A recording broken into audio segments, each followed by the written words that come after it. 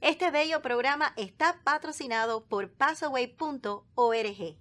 Passaway.org, una plataforma digital especializada para colocar fotos, videos y mucho más, con el motivo de recordar con amor a tus seres queridos.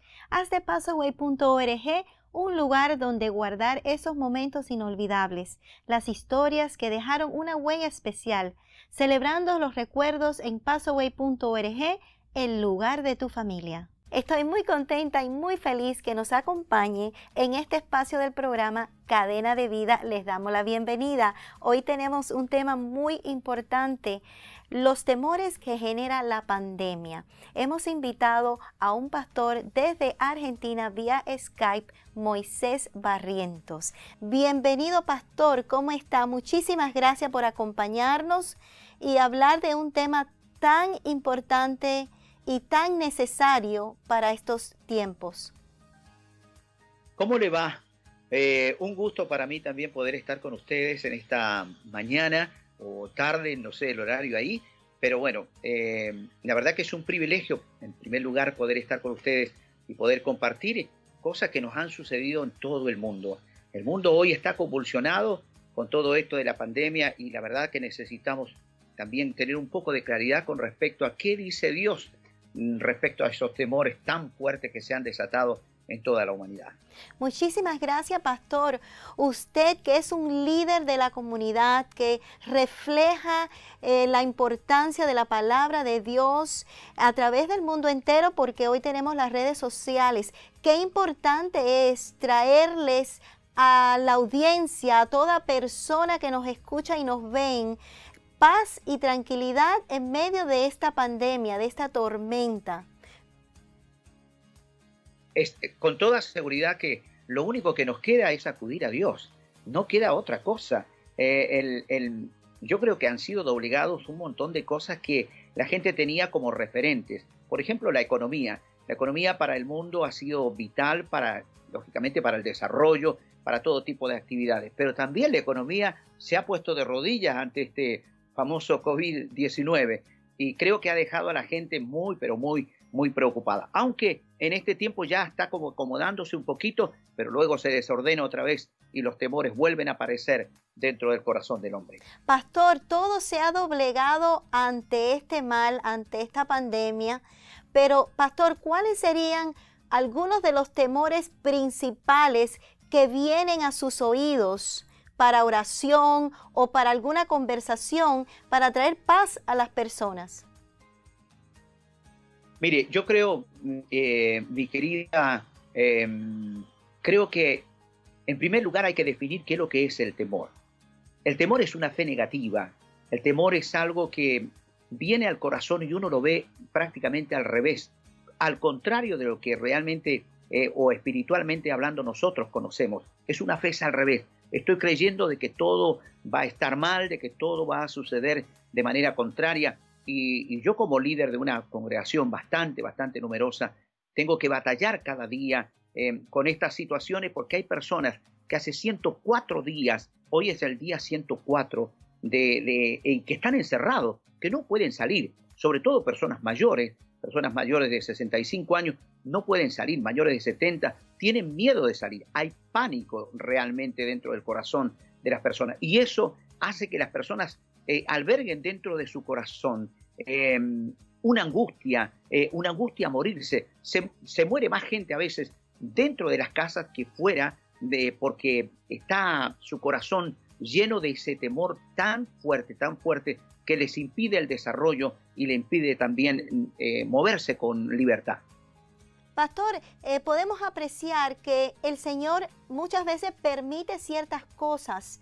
Viendo del punto bíblico, eh, esto que está pasando es para que la humanidad despierte, se dé cuenta que tenemos un Dios del cual debemos de acudir para poder tener esa paz, esa tranquilidad y entender mucho mejor lo que está pasando alrededor nuestro.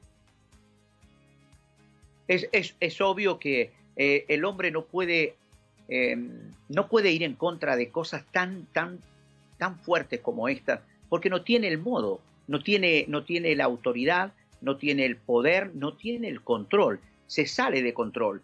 Y, eso lo deja al hombre inhabilitado, imposibilitado de poder siquiera acudir en ayuda de, trata de hacer lo que puede. Si usted mira el mundo cómo se movió ante esta pandemia, uno puede darse cuenta que realmente fue impresionante, porque los mismos presidentes de cada nación, tratando de hacerlo mejor, em, ha, logrado cosas, entre comillas, eh, algunas pequeños, algunos pequeños cambios, pero la muerte de miles y miles de personas a consecuencia de las decisiones que se han tomado. Qué importante es reconocer esas cosas para poder nosotros em, evadir esos temores, ir contra eh, lo que las personas hoy en día están pasando y se están eh, formando eh, muchas cosas sobre la tristeza, la, ansiedad, están viniendo a estas enfermedades y muchas personas se están quitando la vida. Eso es, es, totalmente cierto. Ocurre en todas partes del mundo. Aquí en Argentina no es menos. creo que es el temor a lo desconocido es el temor aquella incertidumbre de no poder controlar, no poder manejar. Es como que el hombre ha perdido el control, el control de las finanzas, el control de la familia, el control de querer hacer lo que quiere hacer. Aquí, vuelvo a repetir, en Argentina hoy se cerró una vez más el país. Hoy es el día em, que comienzan 17 días otra vez de estar cerrados, y estar cerrados fuertemente em, y volver prácticamente a la primera fase. Hay miedo, eh, hay también un poco de descontrol, porque la gente también tiene hambre, la gente también quiere comer, eh, y ese temor a lo desconocido, no sé lo que me depara el futuro, no sé lo que me depara.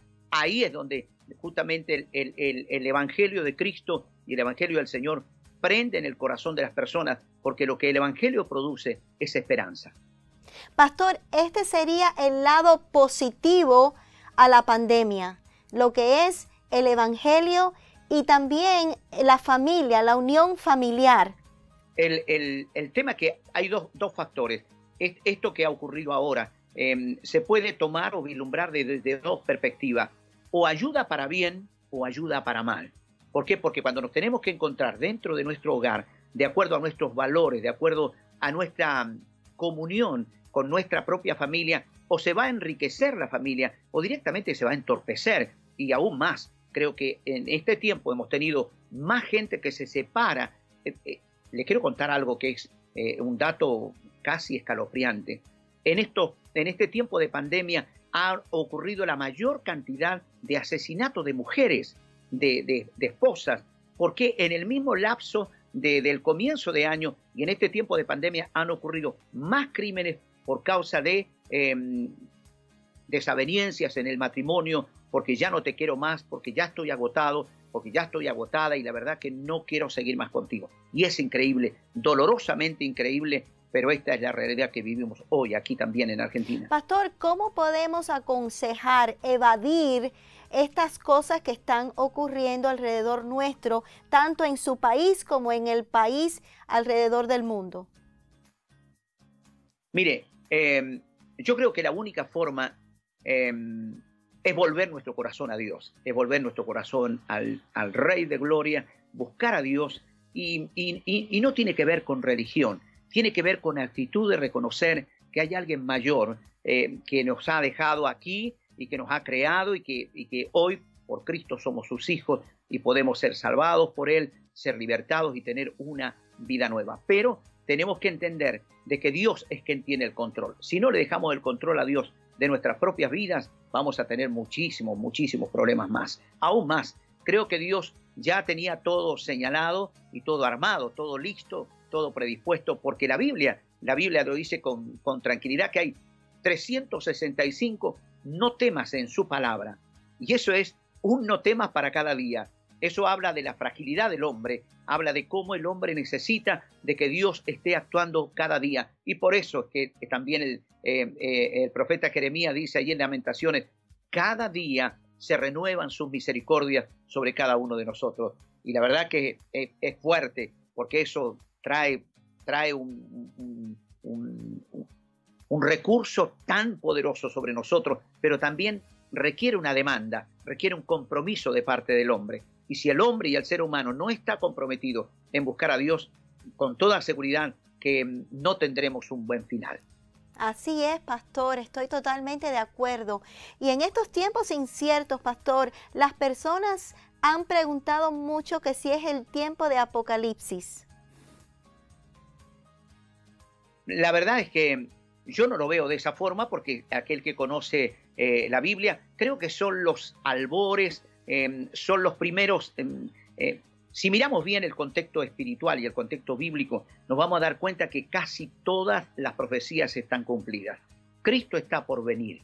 Pero antes de eso, vamos a tener un gran, un gran, un gran avivamiento, un enorme avivamiento. Y creo que será un avivamiento mundial. yo soy parte del Departamento Nacional de Misiones de, de, la, de las Asambleas de Dios de aquí de Argentina. Tenemos más de 400 y algo de personas fuera del país, en 44 países y creemos que es el tiempo de darle lugar a las misiones para que el mundo conozca y que Cristo venga rápido a buscar a su iglesia y podamos encontrarnos con un avivamiento poderoso para la gloria de nuestro Dios.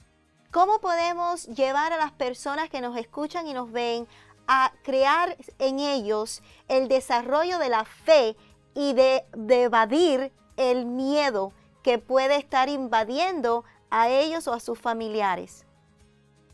Yo creo que la única forma es volver a Dios. Sabe que la palabra es volver a la fuente. La palabra fuente es algo, una palabra que tiene, un, tiene una connotación muy importante. Es como el comienzo, es el inicio. Eh, y yo creo que la gente tiene que volver al inicio. Eh, Cristo vino a esta tierra hace más de dos mil años, murió por nosotros para darnos una vida nueva y para darnos una vida poderosa, una vida de bendición pero hay que volver a Él. Y el único camino, lo dice Él mismo, yo soy el camino, la verdad y la vida, y nadie puede venir al Padre si no es por mí.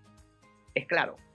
Pastor, ¿usted nos puede compartir algún testimonio reciente de personas que usted ha tenido la oportunidad, la bendición de poder eh, influenciar para que ellos puedan salir de esos temores y esos miedos?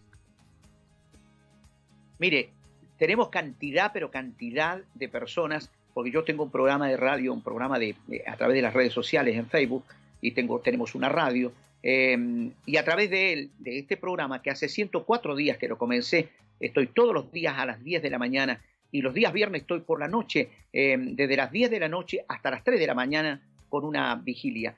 Y em, he visto cientos de personas venir al camino del Señor, volver al camino del Señor. Estaban eh, atemorizados, con pánico, con, eh, con estas famosas eh, temáticas que hay ahora, donde las personas pierden el control, comienzan a transpirar y, la verdad que son unas fobias tan fuertes que les impiden el desarrollo. Hay cantidad, mi querida hermana y mi querido hermano y aquellos que nos escuchan, volver a Cristo es lo mejor que nos puede suceder. Y si a usted, mi amigo que está por ahí escuchándonos o nos va a ver, eh, si usted algún día conoció a Jesús, es la hora que vuelva a casa, porque es el tiempo preparado por Dios para volver a Él. No hay otra forma de hacerlo.